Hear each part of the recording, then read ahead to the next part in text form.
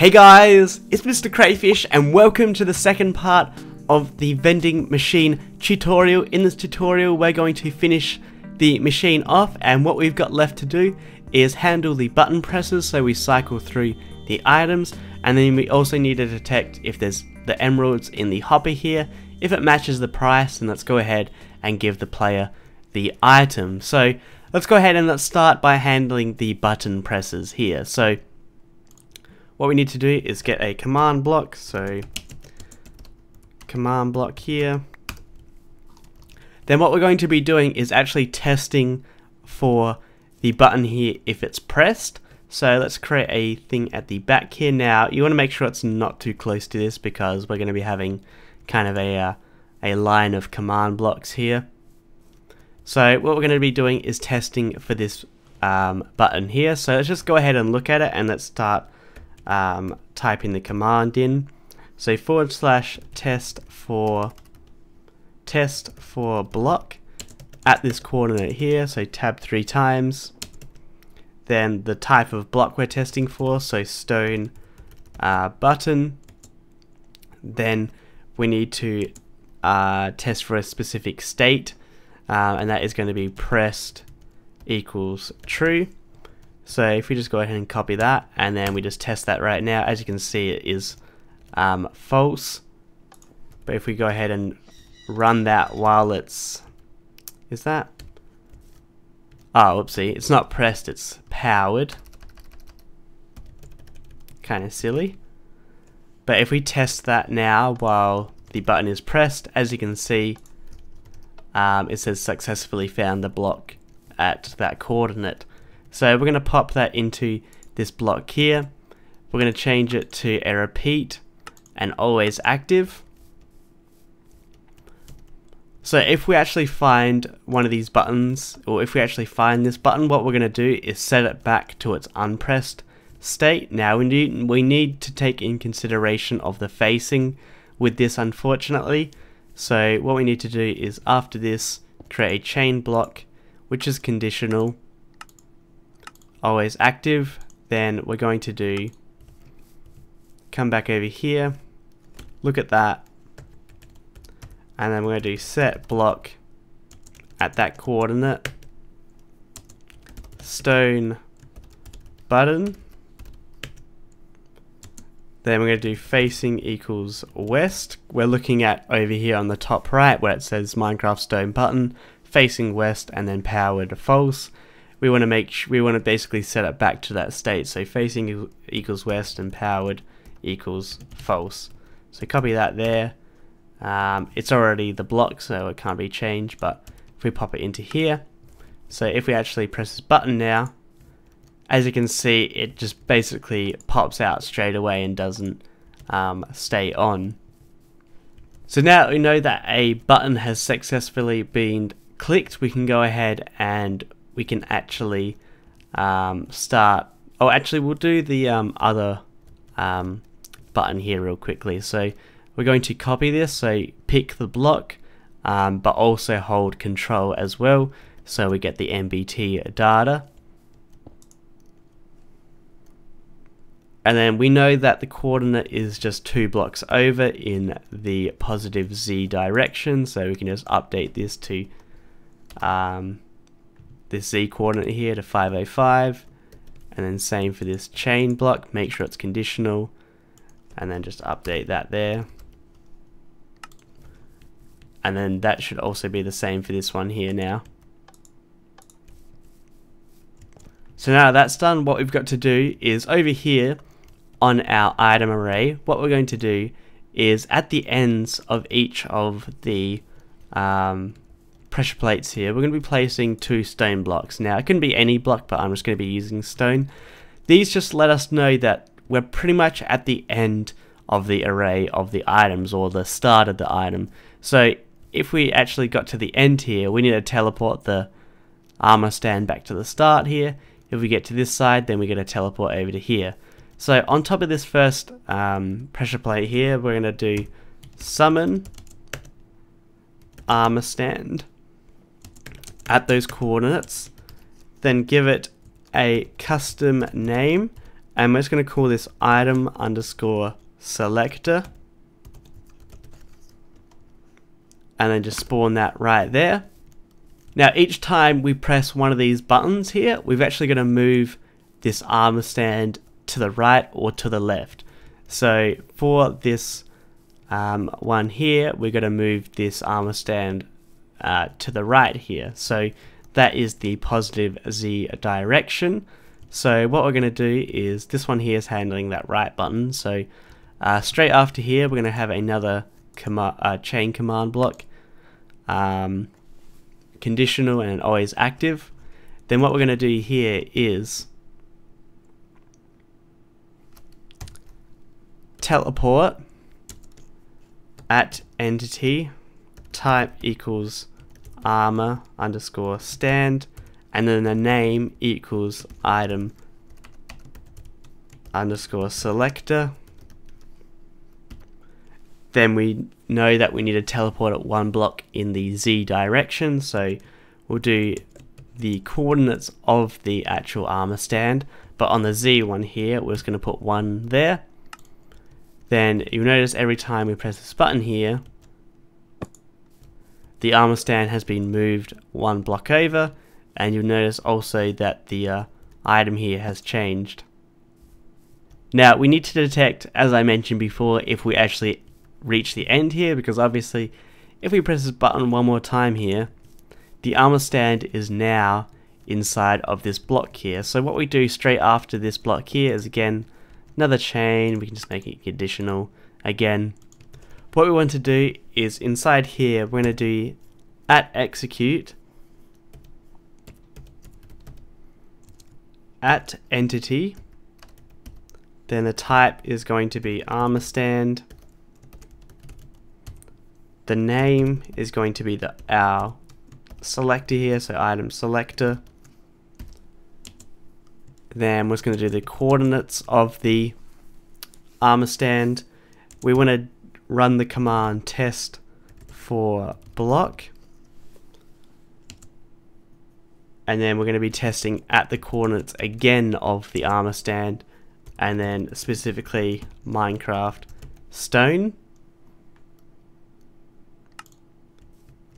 So if it finds a block there then what we're going to do is teleport it to this here. So uh, we'll get um, this command out here so we don't have to retype it. And then we're going to look at this first pressure plate here. So once you get to the end here, we need to teleport back to the first pressure plate. So look at this first pressure plate. Pop in the corner that's here. Uh, we have to bring up this. So we're looking at the block negative 603, 66, 501. Copy that. And then we're going to put another um, command block here, che uh, conditional, make sure it's always active as well, and then pop in that command there that we just typed. And then you'll notice now if we actually, hold up, I'll just put a block there for now. Actually, what we'll do is, hmm, because we don't want that to be there, just place a block to the right there for now, and then if we press that here now, it should go back to the start there. So as you notice when we just keep pressing this now, it keeps cycling through all the items. Now we need to handle in the other direction. So we're going to go ahead and again, uh, what's this? Uh, whoops, trying to get off this stuff. Uh, this one here is the teleport. So we're going to pick block that, pop that there, and then instead this time we need to do in the opposite direction. So it would be negative 1 here instead. And we just had a little bit of a mistake there. Hold up. Let's just keep move it back into the array.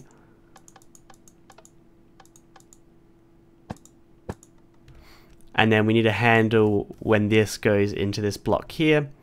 So let's detect that. Test for block if it is Minecraft stone, make that conditional. Here, uh, copy that there, make that conditional. And then we need to change these coordinates here So copy that command. Look at this uh, last pressure plate. And then update those coordinates. So that is uh, 503 instead of uh, 501. Pop that there. And if we go ahead and we press this button here to go to the left, it should go to that last pressure plate. So now we've basically um, can cycle through the vending machine in any direction that we want now. Now the last part is handling the payment, so whenever we throw in, uh, for instance for this apple here, two emeralds into this hopper here, we need to make it so it um, detects the emerald in the hopper there and then gives us our item. So we're going to need a re repeating command block here. What we're going to do is in that command block there, we've actually got to do an execute command.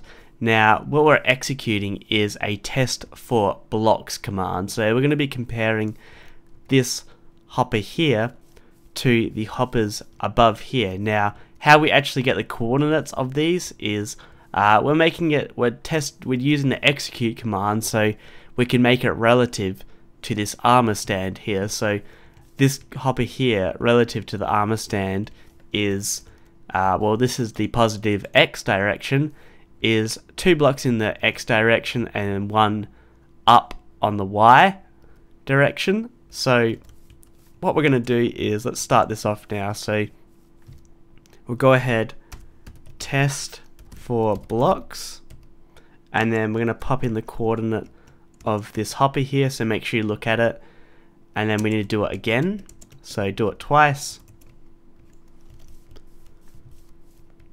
and then what we're going to do is in here, we're going to do an execute command, execute at entity type equals armor stand and then name equals item selector.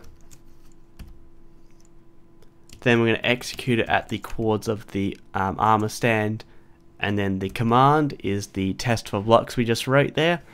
And then um, relative the hopper relative as I mentioned before um, in this instance is um, two blocks in the X direction and then one up. And then let's do that again. This might be different for yours, so it might be two blocks um, in the Z direction. It might be negative two blocks. Um, just make sure you do it, um, you fix up the coordinates properly. So there we go. Uh, that should be it for that. And we can test that out real quickly just to make sure that it is actually working. So we'll just put a, a comparator there for now. Then let's pop into emeralds. And is that working? Oh, make sure you press always active. And then as you can see, the hot, the comparator is now uh, lit up there. What we've got to do now is reset this hopper here. So it's going to be a simple set block command here. So look at the hopper, then do set block, get the coordinates, hopper 0 and then specifically we need to replace it so it gets rid of the items inside of it. Uh, we're going to get a chain command block here. Conditional, make sure it is conditional. Then pop that in there. So that will reset now every time we throw in two emeralds. So if I throw that in, as you can see it's not actually in there because it got reset. Then we need to spawn a redstone block um, in or in front of the uh, this these command blocks over here relative to the armor stand. So this one here is for the apple, so we need to spawn the apple over here, and we can use the armor stand here. So we want to spawn the command the redstone block here, and that is relative um, to this armor stand here, uh, three blocks in the X direction here. So one, two, three. So again, we're going to be using an execute command here. So let's just copy this first one here so we don't have to type it out as much. Another chain, conditional, pop that in there. Then let's get rid of this test for blocks command. and change this to set block and then relative coordinates then in this instance it was three blocks in the X direction then we're going to set it to a Minecraft redstone underscore block we're going to copy that press done then we need to set it straight after to an air block so again conditional and then just change paste in the coordinate uh, that last command then change it to air. And then you'll notice now whenever we pop in two emeralds here we will actually get our item. And this here is actually the end of the the uh, tutorial. There's no more to do now. So let's go ahead. Let's try the stick here. So throw uh, pop in an emerald there. We got 16 sticks and then this one here with 10 logs pop in that and then we got our 64 logs. How cool is that? So that is going to end off this tutorial today, guys. Hopefully you have learned how to create the uh, vending machine using command blocks. If you enjoyed this, make sure you go ahead, press that like button. If you have any, if you have any ideas for command block tutorials, let me know down in the comments because I'll definitely read them. And subscribe if you want to keep up to date with all my latest uh, tutorials and such. And uh, I'll see you guys later. Bye bye.